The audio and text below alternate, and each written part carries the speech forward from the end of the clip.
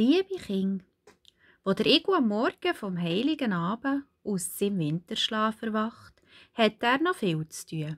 Seine Verwandten und Freunde wollen ihn nämlich besuchen, um zusammen mit ihm das Weihnachtsfest zu feiern. Bevor er aber seine Höhle festlich schmücken, fällt ihm voller Schrecken ein, dass er noch gar keine Geschenke hat. Sofort macht sich der Igu auf den Weg und wird dabei unterwegs in so manches Abenteuer verwickelt. Es müssen nicht nur verschwundene Igelchen, sondern auch Mäuse und kleine Vögel gerettet werden.